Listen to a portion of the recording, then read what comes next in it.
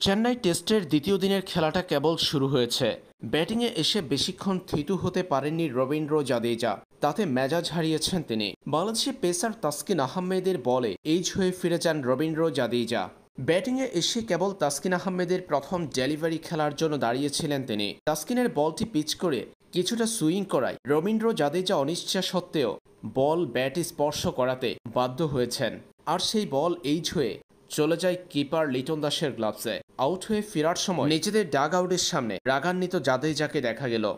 বেশ হতাশ হয়েছেন তিনি। সতীর্থরা হাততালি দিলেও কারও দিকে না তাকিয়ে সোজা ড্রেসিং রুমে প্রবেশ করেন রবীন্দ্র জাদেজা।